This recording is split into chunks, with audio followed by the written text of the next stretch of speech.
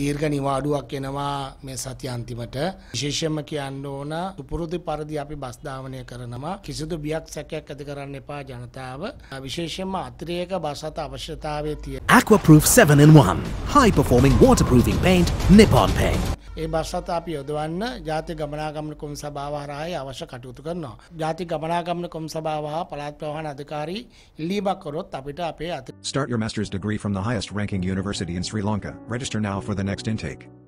දැන් සෙනසුරාදා ඉරිදා තව දවස් පහක වගේ දීර්ඝ නිවාඩුවක් තියෙනවා. එතන අපිට ගැටලුවක් සහගත තත්ත්වයක් තියෙන කාලගුණයේ බරපතල අර්බුදයක තියෙනවා. විශේෂයෙන්ම කාලගුණය තත්ත්ව අනුව පාරවල් ගණනාවක බස් ධාවනය කරන්න හැකියාවක් නැහැ. විවිධ ප්‍රශ්න තියෙනවා ඒ පාරවල් වල. ඒ වගේම නායයම් ඇති වෙච්ච පාරවල අපිට බස් ධාවනය කරන්න බෑ. ඒ වගේම බස් අත වෙන් කරගෙන යන ජනතාව විශේෂයෙන්ම මම ඉල්ලීමක් කරනවා. එවැනි මාර්ගවලට රියදුරන්ව සහ ඒ වගේම අපේ සේවකයින්ව යොදවන්න ලැ- සූදානම් වෙන්න එපා. මොකද මේ කාලගුණයත් එක්ක ගැටලු සහගත තත්ත්වයක් තියෙනවා. මම විශේෂයෙන් ඉල්ලීමක් කරනවා. හැබැයි ගමේ ගිහිල්ලා එනකොට කල් වේලා ඇතුව ගමේ ගියා නම් ඒ වගේම නැත්නම් අ, විනෝද චාරිකාවක් ගියා නම් කල් ඇතුව තමන්ගේ නිවෙස් කරා එන්න පැමිණෙන්න. මොකද පොය දවසේ අපිට බස් හත අපිට දුවන්න හැපි හැකියාවක් තියෙනවා. නමුත් මැද දවස් දෙකේ විශේෂයෙන්ම කියන්න ඕන නත්තල් දවසේ සහ ඒ වගේම එළ- එළඹෙන ඉරිදා දිනේදී බස් අත සුළු සංඛ්‍යාවක් අඩුවෙන් තියෙනවා. ඒක පැහැදිලිව කියන්න ඕන. ජනතාව මේ පිළිබඳ අවධානය යොමු කරන්න. මොකද අපේ සේවක මහතුනුත් ඉල්ලීමක් කරලා තියෙනවා එයාටත් නිවාඩුවක් ගන්න ඕන කියලා. අපි එයාටත් නිවාඩුවක් ලබා දෙන්න කටයුතු කරලා තියෙනවා. විශේෂයෙන්ම